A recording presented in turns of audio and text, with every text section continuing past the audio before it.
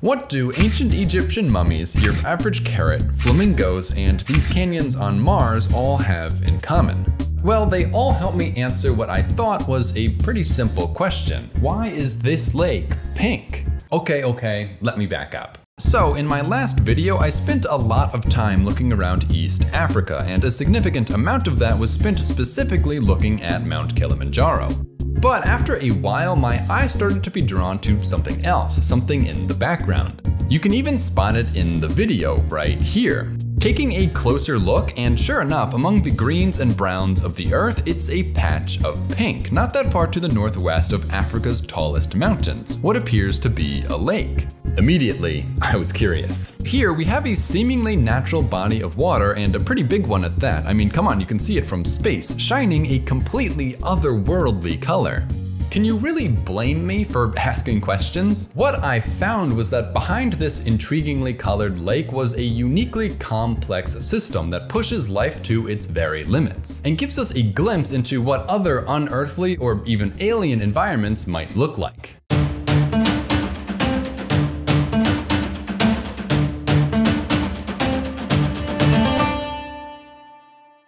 Okay, so my first step in getting to the bottom of this pink lake was to simply figure out what the lake's name was. Yeah, big surprise, right? I don't actually know the name of every single lake on Earth. Wow, how dare I call myself an Atlas Pro. But over my time of pretending to be one, I've found the easiest way to figure out what some strange miscellaneous feature on the planet's surface is called is to go to Google Earth. Doing this, I found, well, I surely found a lake to the northwest of Kilimanjaro, but here the color isn't quite the same. I mean, there's a little pink in there, but honestly, that could just be a mistake of the satellite image. At first, this made me a little worried, but as it turns out, this is actually our first clue.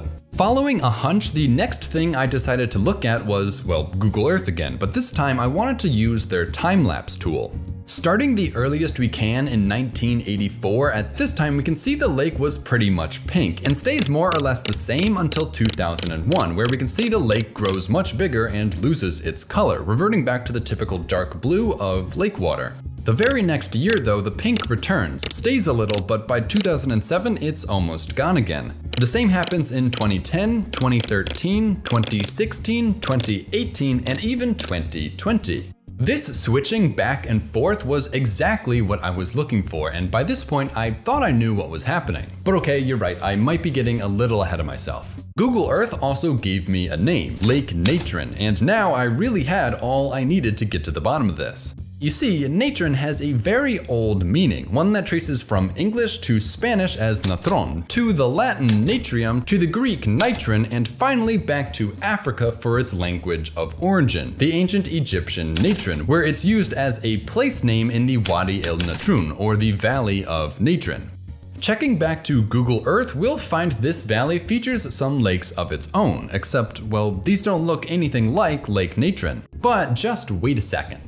Let's use Google Time-Lapse again, but this time going back in time. Doing this, we can see that, well, despite the crazy amount of development that's gone on here in recent years, if we go back far enough, these lakes also start showing us a pinkish reddish color, which is a pretty good sign and means I'm onto something. Considering both of these places have what's essentially the same name, Lake Natron and Natron Valley, I think the next step is to look deeper into the term natron. Researching the history of these red Egyptian lakes revealed that this valley once served a very important role in Egyptian life. Here, a substance unsurprisingly known as natron was mined from the lake shores, producing a hard but brittle white crystal. These weren't any ordinary rocks, however. These ones had special properties, ones that made them incredibly valuable in ancient times. When scrubbed against surfaces in the home, they'd become clean. Brushing your mouth with it made your teeth last longer. When put on a wound, it would recover faster. And perhaps most importantly, when put on food, it would dry it out, allowing it to be preserved. And it was this function as a preservative that earned natron a double-fold purpose in ancient Egyptian society. Of course, the preservation of food before the time of refrigerators and airtight plastic containers would have already made natron an immensely valuable substance, but if it could preserve meat, then it could also preserve human flesh, making natron a key ingredient in the process of mummification. This made not only this substance, but by extension these lakes in Wadi Natron incredibly valuable to ancient Egyptians, both economically as well as religiously. But what actually is natron? Well, if you haven't already figured it out, we only need to look at the periodic table for a real answer. Here we'll find natron is actually its very own element, Na or natrium. Okay, okay, now I know you might be thinking, huh, that's weird, I've never heard of the element natrium before, but well, yeah you have. The kind of natron found in these pink lakes actually consists of four different compounds. Bonded to a carbonate molecule, this formed what we today call soda ash. Bonded to a bicarbonate molecule produces what's now known as baking soda. Bonded to a sulfate makes what's known as sulfate of soda. Are you starting to notice a pattern here? Because basically everything containing natrium formed some kind of soda, over time the term natrium was replaced with the name we use today, sodium. Which brings us to the fourth compound common in natron, sodium chloride, or what today we'd call table salt. Altogether, the big takeaway here is that both the lakes in this Egyptian valley as well as here in East Africa contain exceedingly high concentrations of dissolved salts and sodas. The next question we need to answer then is why is Lake Natron so salty? And this is where our time lapse comes back into the picture. If you'll remember, we saw that over the years, the lake switched back and forth from being a regular dark blue to being a dull pink. And what this is actually showing us is the water level of the lake regularly fluctuating between being full and drying up. This happens as the rainy season comes, depositing large quantities of water to East Africa, filling the lake. But then gradually the rain stops, the dry season starts, and the water evaporates away. Evaporation can lower the surface of a lake six or eight feet within a few months. Every time this happens, the water that flows into the lake picks up trace amounts of salts residing in the soil and brings them along for the ride into this basin. When a raindrop strikes the earth, it either runs off into pools or surface streams, or it sinks into the ground.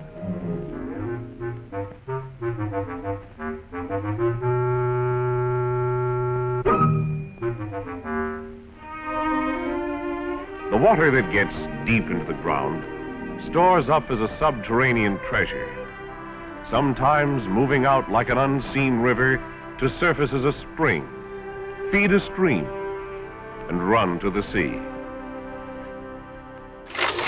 Well, the amount of salt brought into the lake on any given year is rather low as this cycle of rain and drought repeats itself over hundreds, thousands, I don't know, probably millions of years. These salts and sodas gradually build up. And today, Lake Natron is saltier than ocean water even when full. This is the cycle of water by which all life survives. The cycle which we tap by different methods according to our location. But ocean water isn't pink, and so neither is this lake when this is the case. From our time lapse, we can see the lake only gets pink when the dry season comes around and most of the water evaporates away, while all of the salts remain, turning whatever water is left hypersaline, or in other words, really freaking salty. But okay, okay, I know, soda ash, baking soda, and table salt are all white or even colorless, and so no matter how much you put in water, the color doesn't change at all, which means we still haven't answered our question. But now that we know Lake Natron is full of, well, natron, we can start to ask how this collection of salts and sodas might affect the local biology. Think back to those ancient Egyptians for a second who used natron both for cleaning and preservation. What do those two things have in common? That's right, they're about killing bacteria, or really any microscopic life. That's what kept their teeth clean and prevented their mummies from simply decomposing. How this works is a little complicated, but trust me, we'll get through it. If you were ever in any sort of biology class, you might remember the term osmosis, or the process of chemicals traveling from areas of high concentration to areas of low concentration, like water moving from not so salty areas to very salty areas, until equilibrium is reached. Normally, microbes take advantage of this by maintaining a higher body salinity than the water they occupy, providing an inward flow of water without the organism needing to expend energy. But when salinity skyrockets, like in Lake Natron, the water becomes far saltier than the body of the bacteria, and instead of water moving into it, it's actually forced out of their cell membranes. And we all know how important water is to life. And so without the ability to intake water, most microbial life simply dies out, or at least goes dormant until the rains return. But okay, think about that for a second. With all the microbial life either dead or dormant, there's going to be an overabundance of resources in the environment. Things like dissolved oxygen, available organic matter, and access to sunlight are now free for the taking in what's become an essentially non-competitive arena. All a microbe needs to do in order to gain access to virtually unlimited resources is to be able to survive the hypersaline conditions of the lake water. This offer of boundless food, space, and energy proved so tempting that not one but two different microbes, the algae Dunaliella salina and the Archaea Halobacterium salinarum, developed the ability to overproduce glycerol in their bodies, which effectively act as a salt, reversing osmotic pressure and allowing them to once again passively draw water into their bodies. This adaptation granted these two microbes a salt tolerance greater than virtually any other organism on the planet, gaining them exclusive access to all the resources the lake has to offer. However, this drastic change from a diverse microbial community consisting of possibly millions of different species down to a community of just two comes with problems of its own. The biggest of these problems is the sun. You see, in a normal sample of lake water, microscopic diversity abounds, and you end up with an incredibly dense population of microorganisms, all sitting on top of one another. While this might not sound ideal, this is actually what most microbes are used to. An easy way to tell just how densely populated any given body of water is is by looking at how clear it is. Nutrient poor waters like those found in the tropics tend to have far fewer microscopic organisms, making the water much clearer, while nutrient rich waters like those found in the Arctic are absolutely chock full of microbes, making it far less transparent.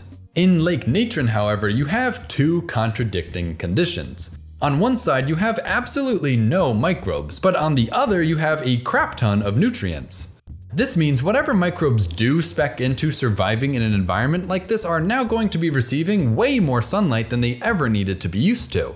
While this might sound like a good thing for what are in fact photosynthetic organisms, we can't forget that overexposure to the sun is always damaging. And so, facing the brunt force of the sun with no other bacteria to hide behind, these two microbes needed to adapt not only to the extreme saltiness of the lake, but also the damaging amount of solar radiation bearing down on them from above.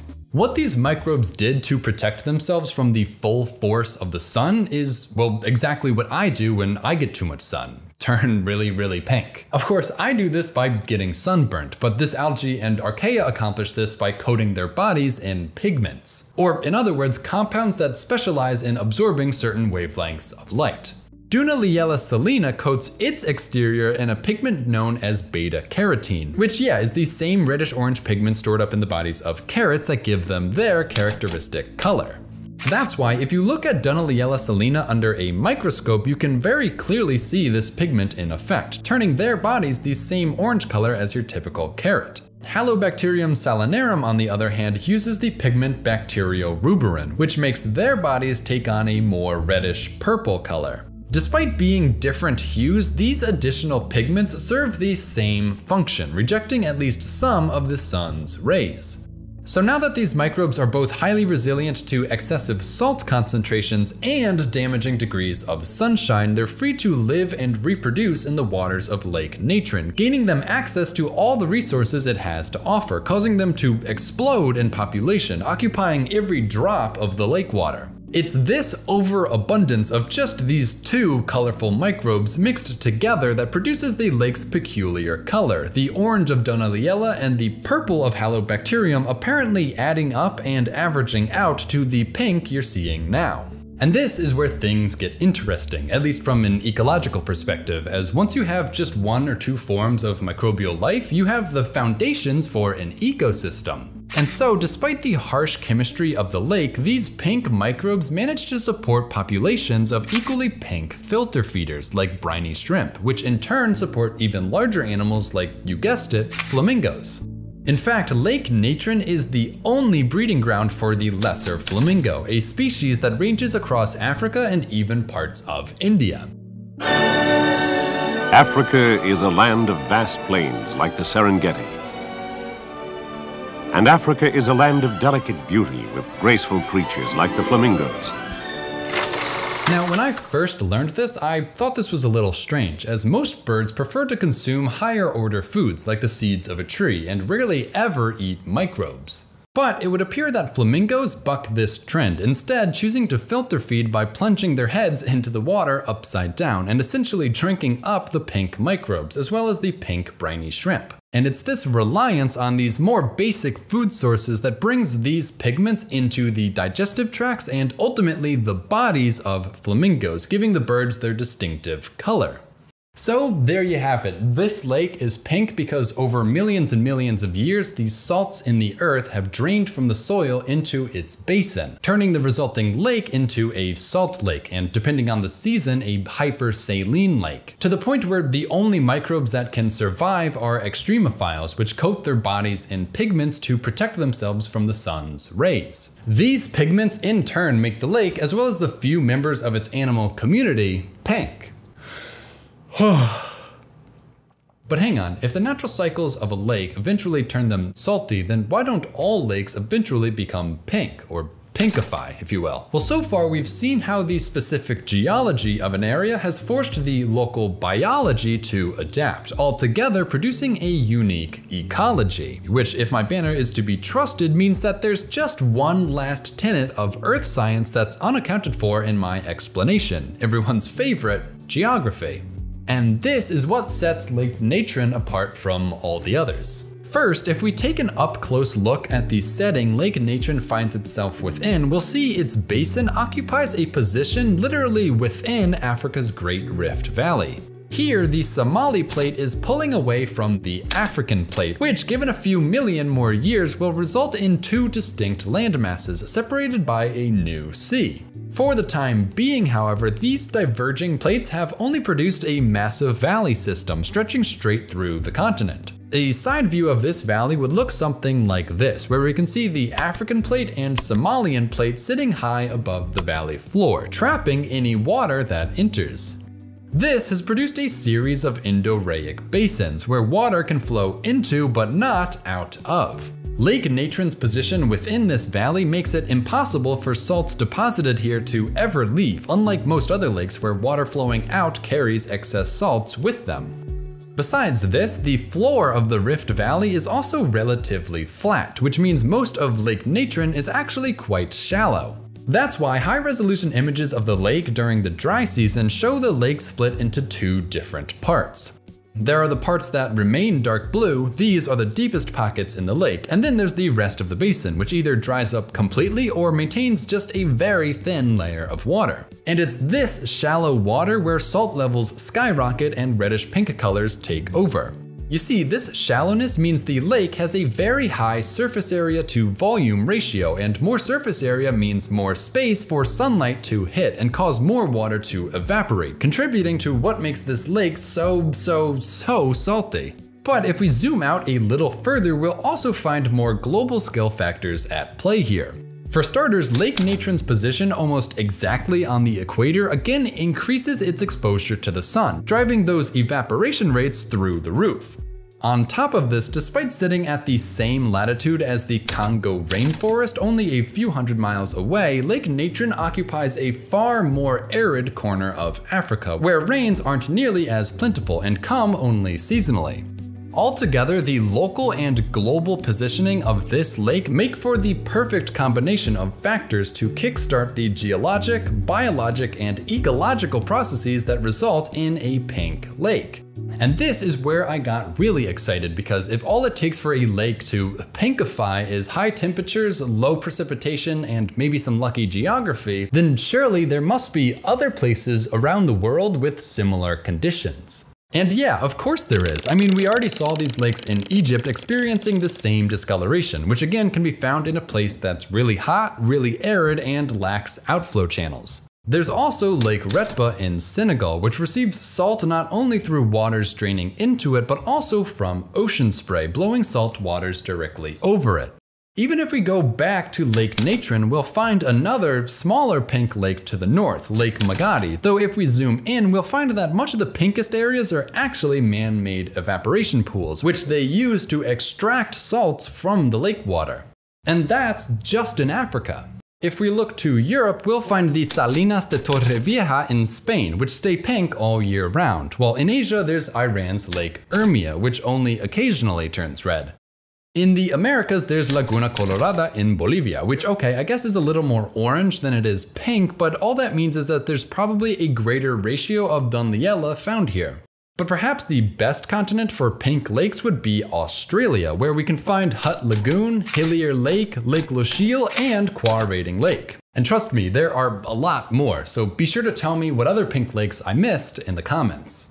Ultimately, what these pink lakes show us is that despite their hypersaline conditions, life is more than capable of thriving in extreme environments. In fact, these incredibly rare lakes serve as a lesson on just how resilient life can truly be, which has implications beyond our own planet.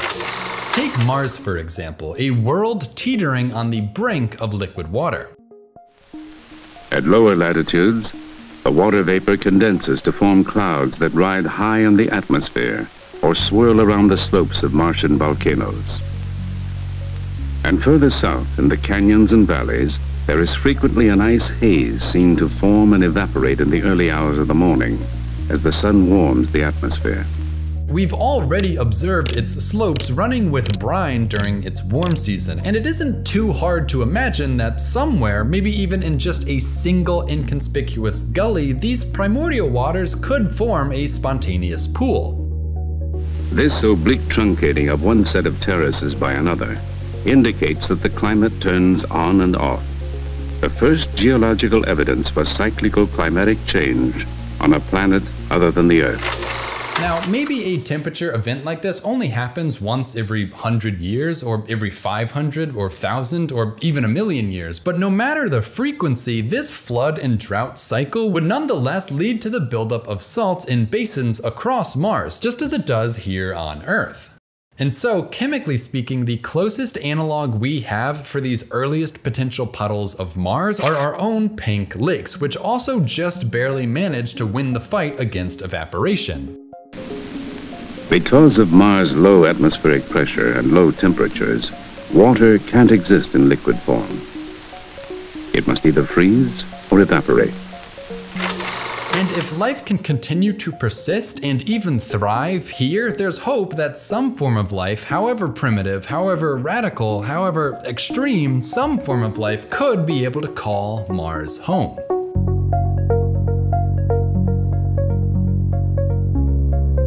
The speculations about changes in the atmosphere and climate were closely related to the notion that life in some form might exist on Mars. Hey everyone, I hope you all had fun learning about pink lakes with me today. This idea came to me really fast and I just knew I had to make this video as it's not often I get an idea that checks off all the Atlas Pro boxes so neatly. So if you want to help support me and the channel, there's a link on screen that'll take you over to my Patreon. Other than that, come on and subscribe already. Don't you want to be able to say you were here before 1 million? Uh, also, give the video a like if you hope this video does well against the cruel algorithm, and make sure to send me pictures of even more crazy lakes over on Twitter. Thanks. Some of Africa's birds are so large you can feed a family of 10 from a single ostrich egg.